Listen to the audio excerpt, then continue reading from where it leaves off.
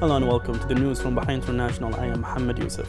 A telephone call was held between His Majesty King Hamad bin Isa Al Khalifa and the President of the UAE, His Highness Sheikh Mohammed bin Zayed Al Nahyan. His Majesty expressed his wishes of continued progress, prosperity, security, and stability for the UAE and its people under the leadership of His Highness Sheikh Mohammed bin Zayed.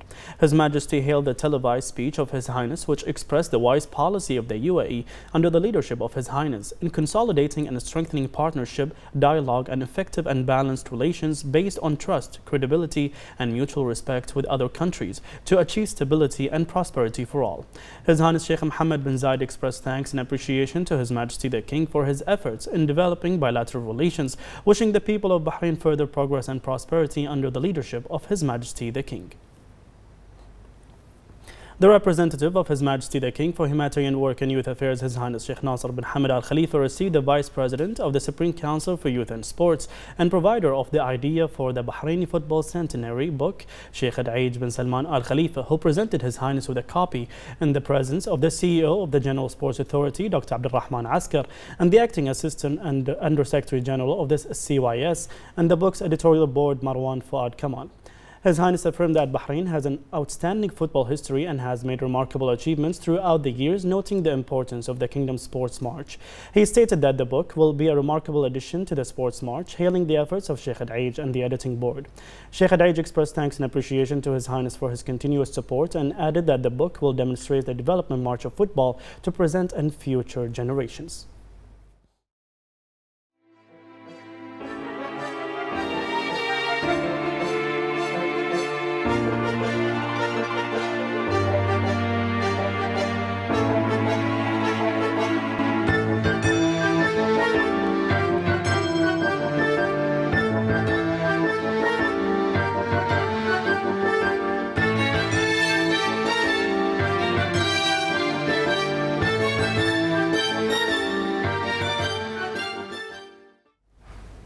The Minister of Finance and National Economy, Sheikh Salman bin Khalifa Al Khalifa, met with the Director General of Abu Dhabi Fund for Development, Mohammed Saif Al Suwaidi, and Acting Director General of Abu Dhabi Export Office, Khalil Fadl Al Mansouri, in the presence of the Minister of Transportation and Telecommunication, Mohammed Al Kaabi, the Minister of Works, Ibrahim Al Hawaj, and the Minister of Electricity and Water Affairs, Yasser Humaidan.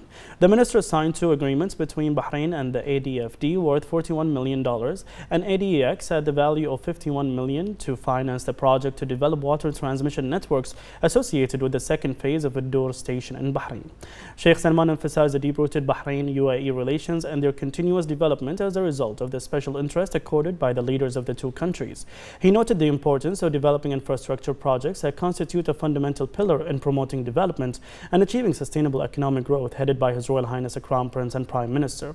the Suwaidi noted that the agreement embodies the keenness of the fund to support development projects and plans in various fields and the effective contribution to developing Bahrain's economic and social march.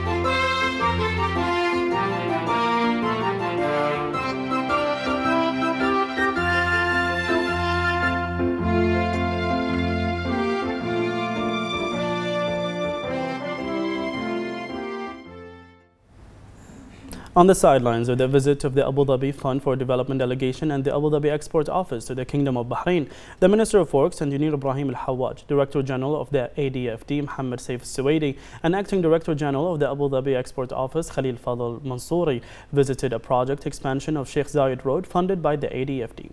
The Minister said that the implementation of the first phase of the project to expand Sheikh Zayed Road affirms the depth of bilateral cooperation. He praised the support provided by the UAE to projects that advance development in Bahrain The delegation were briefed on the new expansion as it is one of the most strategic projects on the main road network in the kingdom. The minister said that the expansion made on Sheikh Zayed Road have contributed to alleviating traffic congestion by increasing the capacity of the street by about 57% after the expansion. The Minister of Housing and Urban Planning, Amna Rumayhi, conducted an inspection visit to East Hidd Town. The minister said that work on the infrastructure projects at East Hidd Town is near completion, with 95% of residential scheme already completed, adding that the massive development project is expected to be completed during the last quarter of this year. She announced that work on the construction of the apartment buildings will start during this quarter, noting that the project would feature apartment buildings with all facilities and services. Rumayhi stated that construction of 1,873 housing units has been completed and handed over to citizens out of the total number of the planned units. She noted that the ministry handed over 529 housing plots in the project, adding that 60% of the beneficiaries have started construction work. She stressed the government's keenness on promoting social housing projects and programs, adding adopting initi innovative initiatives and solutions that ensure the speedy access of citizens to adequate housing.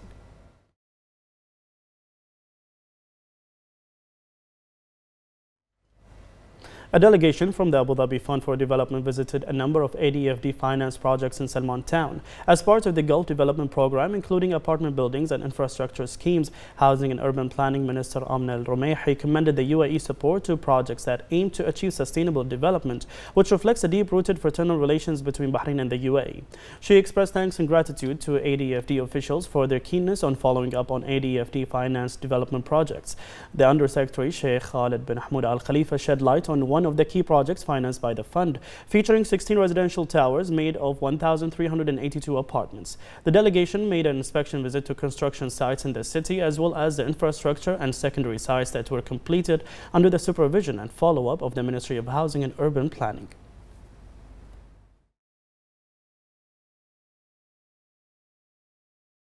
The World Health Organization has launched a case study documenting the Kingdom of Bahrain's successful response to the COVID 19 pandemic. The study specifically details the kingdom's extensive efforts put in place to combat the spread of the disease and highlights the best practice examples and lessons learned from the pandemic. It is a role model, I would say, with all the experiences that the uh, world had with uh, dealing with um, COVID 19. Bahrain stand out as one of the best um, practice kind of experience mm-hmm. because we, we cover all the aspects. I will say we had this ideal public health action that we did during the um, COVID 19. We started early, we planned, we prevent, we did establish testing centers. All, all of these actions were um, harmonized in a way. The dynamic of um, doing this where though it was centralized but at the same time it was harmonized in within the government within the society the engagement of everybody the information of this case study will further stress the fact that healthcare remains a priority for the government of Bahrain and that the commitment at the highest political levels were vital to the success of Bahrain's COVID 19 response under the leadership of His Majesty King Hamad bin Isa Al Khalifa and the constant follow up of His Royal Highness Prince Salman bin Hamad Al Khalifa, the Crown Prince and Prime Minister. The leadership uh, was the success uh, or the key uh, to to, the, to have this success story. We uh, uh, established the task force, the national task force, early on before at least three to four weeks before the first case of uh, COVID 19 um, uh, diagnosed in Bahrain. And from that day, we prepare as a team. And if I'm referring to we, as I always refer to Bahrain team we prepared ourselves for the next cases because we knew it will come definitely to Bahrain.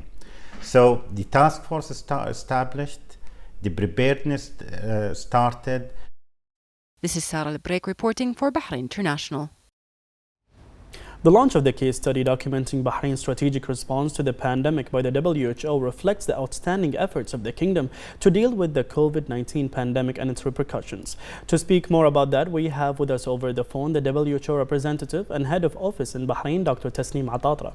Hello, Dr. Tasneem. Can you tell us about the significance of the WHO's selection of Bahrain as a case study and success story in dealing with the pandemic? Assalamu alaikum wa rahmatullahi wa barakatuh. Bahrain launched a report documenting its strategic response to the COVID 19 pandemic and showcasing how the country managed to overcome critical challenges through preparedness and early response.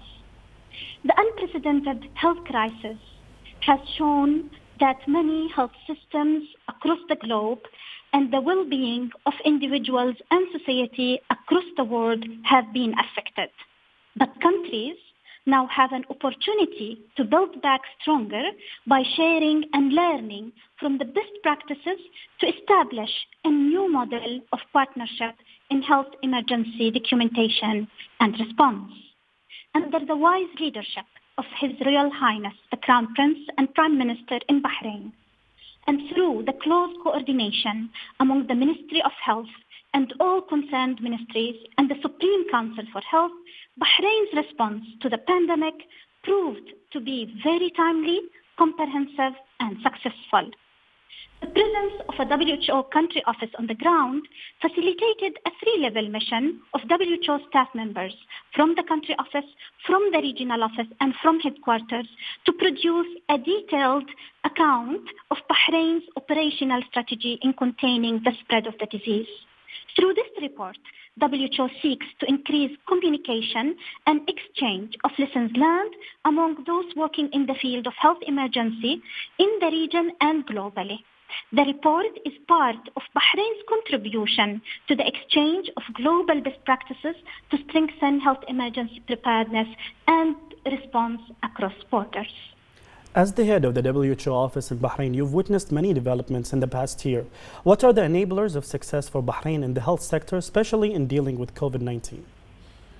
Bahrain is one of the first countries to document the COVID 19 experience commitment at the highest political level was instrumental to the success of Bahrain COVID-19 response.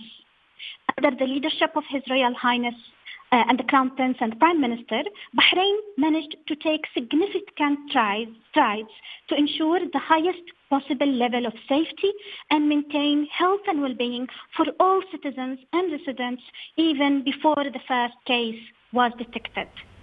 It shows that preparedness, leadership, and multi-sectoral collaboration are critical for a well-managed response to health emergency. Uh, a national task force uh, for combating uh, COVID-19 was promptly mobilized after the discovery of the novel virus.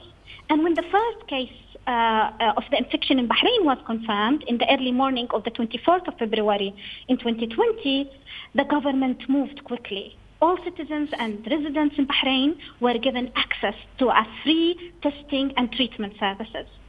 Prevention, preparedness, and response activities were implemented swiftly across all sectors in a whole of government, whole of society, whole of community approach.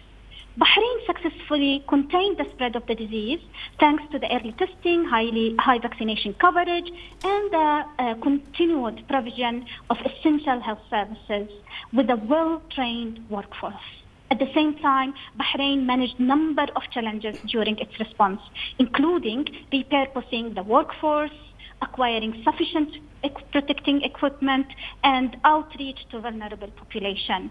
Moreover, which was evident and outstanding is the commitment of the whole community where we saw high number of volunteers and uh, coming to join the highly qualified professionals.